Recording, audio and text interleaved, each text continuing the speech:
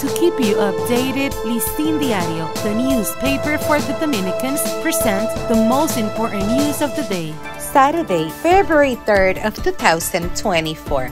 If elected for a second presidential term, Luis Abinader plans to continue insisting to promote a national unity pact with his adversaries. But it is not the first time that the ruler shows interest in materializing approaches that involve the opposition parties. The judge of the third court of the investigation of the National District, Amauris Martinez, accepted petitions raised by the technical defense of the accused Alfredo Solano and former prosecutor Jean Alain Rodriguez and set for next February 9th the hearing of the case called Operation Medusa. The Dominican peasant movement denounced that high production costs are causing farmers to stop producing basic food and opt for more profitable ones.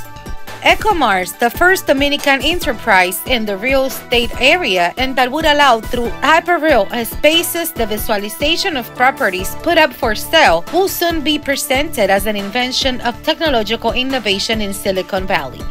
The Technological Institute of Santo Domingo, INTEC, inaugurated an extended reality laboratory, a pioneer in the country, through which it proposes to generate resources in virtual and augmented realities for the training of its students and teachers on issues of climate change and integral disaster risk management. For this and more information, you can visit listindiario.com for Listin Diario voiceover and translations by Indira Rodriguez. To keep you updated, Listín Diario, the newspaper for the Dominicans, presented the most important news of the day.